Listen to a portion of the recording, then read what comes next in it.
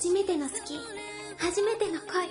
花かごりさ14歳。あ中ね2実は。やっぱ一番は。この夕暮れくんと付き合っています。リサが初恋で初めての彼女人好きになるの初めてだよ。初カノですよ。何か交換したトーガくんの写メ送ってって言われたんだけどさ。えやめた方がよくない？トーガくん彼女できたじゃん。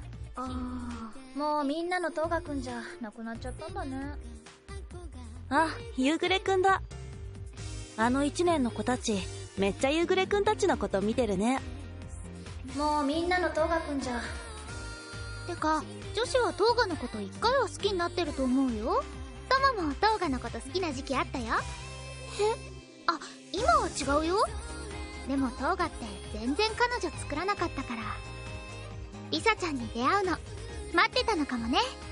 思いがけないことに喜んでいる。戸惑っている。悩んでる。